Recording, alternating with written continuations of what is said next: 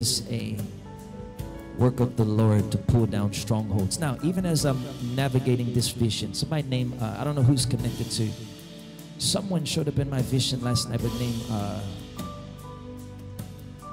Julie. And I don't know who's praying for Julie, Julie, Julie, Julie. If you're live, if you're watching from online, let me know. Get my volume just a little bit. I don't know who that is. Who's connected to Julie? Are you? Okay. Co-worker in and friend named Julie Anna. Does anybody call her Julie? Everyone else calls her Julie. Okay, come over here. Let me tell you about Julie. She showed up in my vision last night. Jesus. Have you, you prayed for her? She's praying for you. You. Y'all see that assignment? She walking with assignment on her, and God is, He's He's uh, taking advantage of the moment. Do you see that?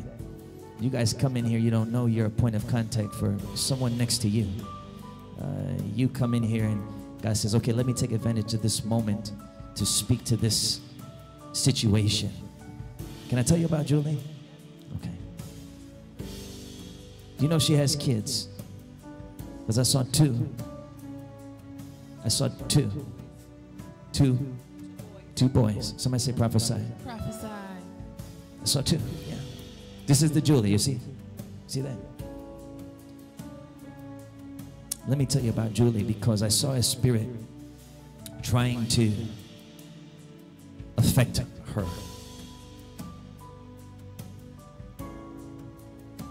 I don't know if she tried to have more kids or if she if she was wanting to have more kids. She did, and they. She had a girl, but she lost the girl after maybe a day. Say that again. She had a little girl, but she lost her after a day. Now I want you guys to see how prophetic this is. Bring my camera around. I wrote in my notes. Children died. I'm talking about Julie. Bring that camera. You can. I don't know if you can get that. Right here. So they'll believe me. Julie, children died. What seemed like two children and two girls. Wasn't just one. There was also a girl that I also believed it was a miscarriage. Didn't know if even if it was a miscarriage. Amen. Somebody say prophesy. Prophesy. Now, this was last night. I don't dream, so when God sends me a dream, I know it's, I know. Amen. I'm not a dreamer, I'm a prophet. Amen. There's a difference. Dreamers dream, and prophets can't have dreams, and prophets dream dreams, but there's different dimensions. And God uses each gift differently. For me, I just know my gift. I don't dream.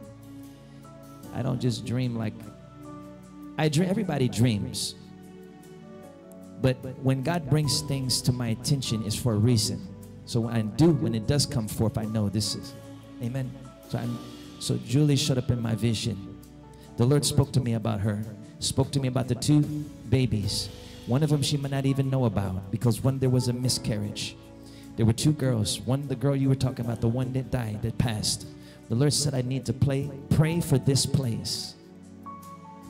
She currently has two children. Amen. I'm praying for this place. Is she currently married? She's widowed. Okay. Do you see the death around? You see this? This spirit of death flies from her today. Today. Is somebody hear me? Why would God bring this up to me? We're not just we're not just looking at there's a reason why God brings him. Why would he disturb me in my sleep? 5:15 a.m. in the morning. Julie shows up in my dream. The Lord says, "You'll pray for this person in service today." She has two kids. Two of them pass. But there's a spirit of death around her house. Imagine this intercessor walks in here. Just a few words of prayer about Julie. God catches it up. And in a moment, this thing flies from her. Amen. How old is she? She's an older lady. There's a restoration coming. There's a restoration coming, for the Lord shall restore the wasted places and the years and the things that the cankerworm has eaten. Amen.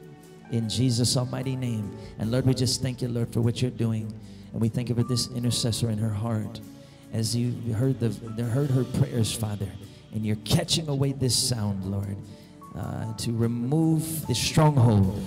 And it shall not pass on to the boys, and it shall not pass on to the generation to follow.